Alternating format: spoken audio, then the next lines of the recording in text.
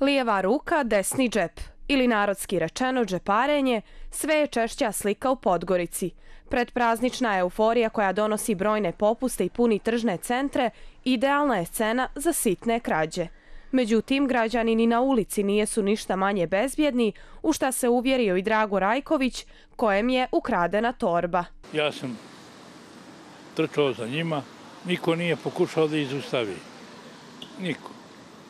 I uhvatio se, oni su pobrkali, ušli su u Čoravi dvije ulice i tu sam uzeo, ovaj uzeo, strah mi bio za ove papire, odnosno dokumentaciju, tu su neke pare bile oko možda 200 eura i to su pronašli vrlo brzo i uzeli mi to, i cvikere, drugo ništa.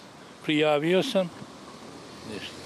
Rajković je samo jedan od 388 podgoričana koji su prijavili da su bili meta krađa u ovoj godini. Iz prakse sigurno postoji veći broj krivičnih dijela koja se koja nijesu prijavljena. Posebno da izdvojimo neke mete napada ne možemo, ali u suštinu radi se o fizičkim licima, radi se o kućama, stanovima, putničkim motornim vozilima, U 2022. godini zabilježeno su i dva napada na dva bankomata i jednu zlataru. Zato kuće ne ostavljajte bez nadzora, poručuje Biljana Rašović, čiji su članovi porodice također bili meta provalnika. Čerki su stan obili, prijavili i to uzeli su dosta finih stvari.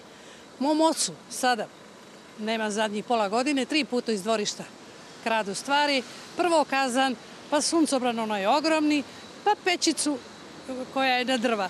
Znači, čovjek je 92 godine, ne čuje, ne vidi. Mi smo na poslu. Jokić navodi da im ovakvi provalnici nijesu nepoznati jer se nerijetko radi o povratnicima, a apeluje da sve vrijedne stvari držimo pod ključem.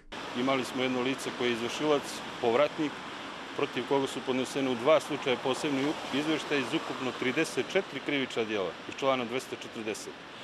Da bi u drugom slučaju, prilikom njegovo lišenje slobode, i pronašli 17 bicikala i 3 trotineta, od kojih je 14 vraćeno. Centar bezbjednosti Podgorica ohrabruje građane da prijavljuju bilo koju vrstu krađe bez obzira na vrijednost, jer samo zajedničkim djelovanjem mogu da rasvijetle ovakve slučajeve.